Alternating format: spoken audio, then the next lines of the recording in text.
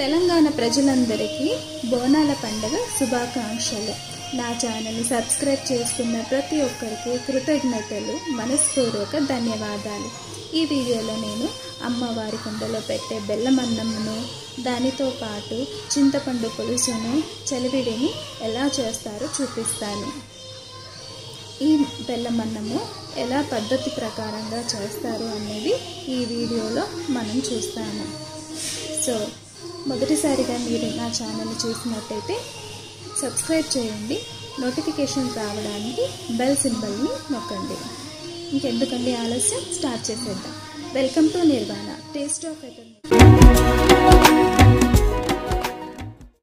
ముందుగా ఒక గ్లాస్ నానబెట్టిన బియ్యంలో మూడు గ్లాసుల నీళ్ళు వేసుకుంటున్నాను. నేను ఏ గ్లాస్తో అయితే రైస్ వేసుకున్నానో అదే గ్లాస్ కొలతతో పాలు కూడా వేసుకుంటున్నాను. సో మీరు కూడా ఒక గ్లాస్ పెట్టుకొని అదే గ్లాస్ కొలతతో అన్నీ మెజర్ చేసుకుంటే ఈజీగా ఉంటుంది.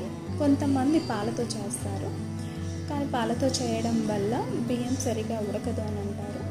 అది టైం కూడా తీసుకునే ప్రొసీజర్ కానీ బోనం అన్నం అనేది ఎవరి వాళ్ళ పద్ధతులను బట్టి ఉంటుంది.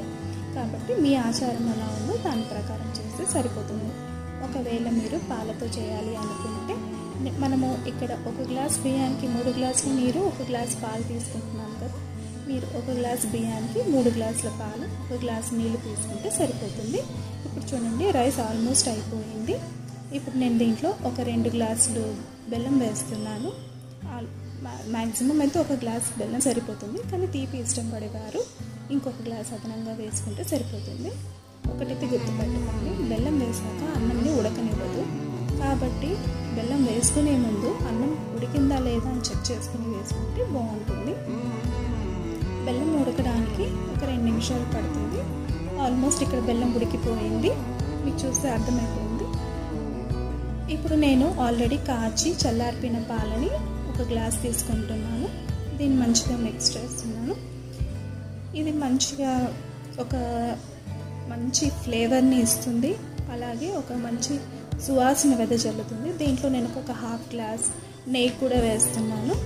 నెయ్యి వేయడం వల్ల ఇంకా చాలా మంచి టేస్ట్ వస్తుంది. ఇక్కడ నేను ఏ జీడిపప్పులు కిష్మిష్లు వాడట్లేదండి. ఇది అమ్మవారి ప్రసాదం కదా. అందుకు నేను ఒక హాఫ్ గ్లాస్ ఎండు కొబ్బరి చిన్న ముక్కలుగా కట్ చేసేసి వేసేస్తున్నాను. అందులో ఒక చిటికెట్ పసుపు. ఇది ఆచారం కోసం అండి.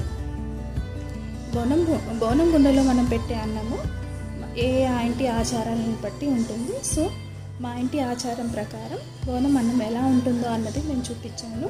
ఇంతే అండి బోనం అన్నం రెడీ అయిపోయింది. దీని ఇలాగే చిన్నటి మంట మీద ఐదు నిమిషాలు ఉడికిస్తే సరిపోతుంది. మీరు కావాల్సి మంటకు కూడా ఆపేసేసేసి అలాగే వదిలేసినా కూడా అయిపోతుంది. సో మనం నెక్స్ట్ ప్రొసీజర్ చింతపండు పులుసు ఎలా చేయాలో చూద్దాం. చింతపండు పులుసులో ఆల్రెడీ నేను చింతపండుని పిసికి పెట్టేసుకున్నాను. దాంట్లో ఒక చిన్న బెల్లం ముక్క ఒక చిన్న ఉల్లిగడ్డ వేసేసాను. ఉల్లిగడ్డ కూడా నార్మల్గా కట్ చేసుకున్నాను. దీంట్లో ఒక టేబుల్ స్పూన్ కారం ఒక టేబుల్ స్పూన్ ఉప్పు హాఫ్ టేబుల్ స్పూన్ పసుపు వేసి ముద్దలన్నీ పోయే వరకు పిసికి పెట్టేశాను. అంతే అండి. చింతపండు కూడా రెడీ అయిపోయింది. ఇది కంపల్సరీ అమ్మవారికి చేరాల్సిన ప్రసాదం. ఒక కుండలో బెల్లం అన్నం ఒక కుండలో చింతపులుసు ఉంటుంది. ఇది అమ్మవారిని చల్లపరుస్తుంది అన్నమాట ఓకే అండి. మీకు నచ్చింది అనుకుంటాను. ఒకవేళ మీకు మా ఛానల్లో చూపించింది ఇది నచ్చినట్టయితే లైక్ షేర్ అండ్ సబ్స్క్రైబ్ చేయండి. Thank you.